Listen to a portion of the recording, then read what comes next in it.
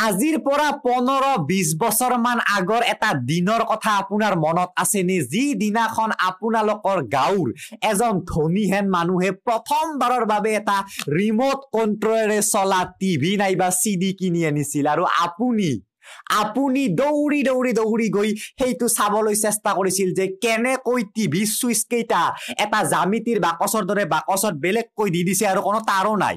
আৰু দূৰৰ পৰাই আমি সেই তোৰে চাউণ্ড বদলাব পাৰো চাউণ্ড বেছি কৰিব পাৰো চাউণ্ড কমাব পাৰো চেনেল আদলা বদলি কৰিব পাৰো আৰু সকলোতকৈ আচৰিত কথা চুইচ টিপি দিলে চি ডিৰ ভিতৰৰ পৰা ডিছখন ওলাই আহে আৰু সোমায়ো যায়। এইটো সকলোতকৈ বেছি আচৰিত আছিল যে চুইচ টিপি দিওঁ চি ডি যিখন সেইখন পেড সেইখন ওলাই আহে আৰু সোমাই যায়। চ' আচৰিত খাইছিলো। আৰু ভাবিছিলো যে এনেকুৱা এটা মোবাইল পালে দূৰৰ পৰা এনেকে কথা পাতিব পৰা। চ' সেইটো পিছত হৈ গ'ল। কাৰণ মোবাইলতকৈ আগত আহিছিল ৰিমট চ' আজি মই ক'বলৈ গৈ আছো যে ৰিমটে কেনেকৈ কাম কৰে।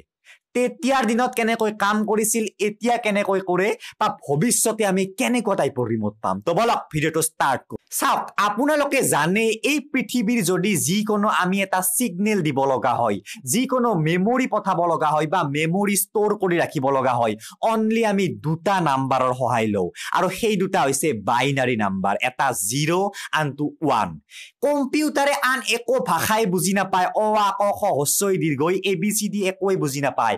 জাষ্ট দুটা শব্দ বুজি পায় এটা হৈছে জিৰ' আনটো হৈছে ওৱান বা এটা হৈছে অফ আনটো হৈছে অন আৰু এই ৰিমটটোৱেও ইনফ্ৰাৰেড টেকনলজিৰ সহায়ত এই দুটা নাম্বাৰে চেণ্ড কৰে টিভি বা চি ডি লৈ বা যাৰ ৰিমট আৰু তেওঁ লৈ। যদি আমি ভলিউম আপটো মাৰি দিওঁ ভলিউম আপৰ বাবে ইয়াত জিৰ' ওৱান জিৰ' ওৱানটো এটা চিষ্টেমত লিখা আছে। ধৰক zero' zero' one one zero' zero' এইটো টিভিটোত ষ্ট'ৰ কৰি ৰখা আছে আৰু টিভিটোৱে যেতিয়া ইয়াৰ পৰা যোৱা ছিগনেলটো পায় তেতিয়া গম পায় যে এইটো কিহৰ বাবে আহিছে। ধৰক আমি চেনেল বদলাবৰ কাৰণে মাৰি দিলো ইয়াৰ পঠাই দিলো one one zero' zero' zero' two one zero' চ' এইটোৱে গম পাব টিভিটোৱে যে এইটোৱে চেনেল বদলাবৰ কাৰণে দিছে বা ডিছখন ওলাই আহিবৰ বাবে দিছে। আৰু এইটোৱে কাম কৰে ইনফ্ৰাৰেড টেকনলজিৰ সহায়ত মানে আগত যিটো লাইট আছে এই লাইটটোৰ সহায়ত। এতিয়া ইনফ্ৰাৰেড টেকনলজিৰ অলপ দুৰ্বলতা আছে। এটাই দুৰ্বলতা যে ই এটা সদায় ষ্ট্ৰেইট ডাইৰেকশ্যনত কাম কৰে। যেনেকৈ ৱাই ফাই আৰু ব্লুটুথে এটা সম্পূৰ্ণ ৰাউণ্ড ডাইৰেকশ্যনত কাম কৰে এনেকৈ কাম নকৰে। ই সদায় চিধাকেহে ছিগনেল পঠাব পাৰে। আৰু সেইবাবে আমি টিভিত এনেকে চিধাকে দিলেহে পায় ৰিমটে কাম কৰে। কেতিয়াবা বেকাকে দিলেও হয় যদি ৱাল থাকে ৱালত খুন্দা মাৰি পুনৰ আহে। কিন্তু জেনেৰেলি চিধাকেহে কাম কৰে।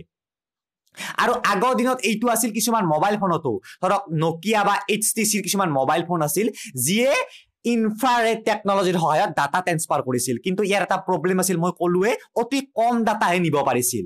আৰু এইটো সস্তা আছিল। আমি ভলিউম আপৰ বাবে কিমান ডাটা নিব লগা হয়? মাত্ৰ ওৱান বাইটছ বা ওৱান বিটছ ইমানমান ডাটাই দিব লগা হয়। কিন্তু এটা যদি গান ট্ৰেন্সফাৰ কৰিব লগা হয় বহুত ডাটা দিব লগা হয়। চ' তাৰ বাবে আমি পিছত ব্লুটুথ বা ৱাই ফাইৰ সহায় ললো। কিন্তু প্ৰথমতে এই যিটো টেকনলজি আজিকালি ৰিমটত থাকে সেই টেকনলজিটো আগতে মোবাইল ফোনতো আছিল।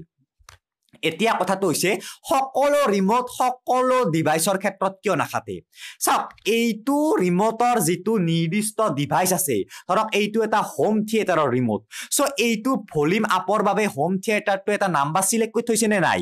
ধৰক ওৱান ওৱান জিৰ' জিৰ' চ' যদি বেলেগ এটা আমি হোম থিয়েটাৰত দিব চেষ্টা কৰো এইটোৰে ভলিউম আপ কৰি সেইটোৰ বেলেগ নাম্বাৰো হ'ব পাৰে বা যদি একে নাম্বাৰ হয় সি ৰিচিভ কৰিব আৰু কামটো কৰি দিব যদি বেলেগ নাম্বাৰ হয় ৰিচিভ কৰিব নোৱাৰে আৰু সেইবাবে সকলো ৰিমটেৰে সকলো ক্ষেত্ৰত নাখাতে কিছুমানে খাতেও যদি মিলি যায় কিবা কাৰণত। চ' এনেকৈ চিম্পলি কাম কৰে ইনফ্ৰাৰেড টেকনলজিৰ সহায়ত ৰিমটে এতিয়া কিছুমান ঠাইত এই লাইটটো ওলাই থাকে কিছুমান ৰিমটত এই লাইটটো লুকাই থাকে কিন্তু কামটোতো একেই আৰু ভৱিষ্যতে ৰিমট কি হ'ব জানেনে? ভৱিষ্যতে ৰিমট ইনফ্ৰাৰেডেৰে কাম নকৰা হ'ব।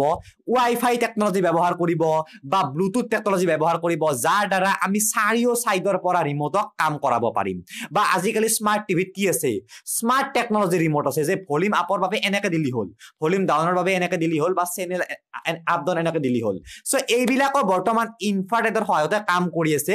কিন্তু ভৱিষ্যতে হয়তো বহুত ভাল ৰিমট পাম। চ' আজিলৈ ইমানেই।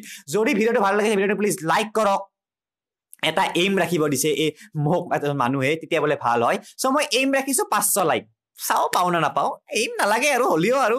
চ' আজিলৈ ইমানে। যদি ভিডিঅ'টো ভাল লাগিছে প্লিজ চেনেলটো মই ছাবস্ক্ৰাইব কৰক। এইখিনিত থকা ডিমি নামৰ চিম্বলত ক্লিক কৰি আজিলৈ ইমানে। Thank U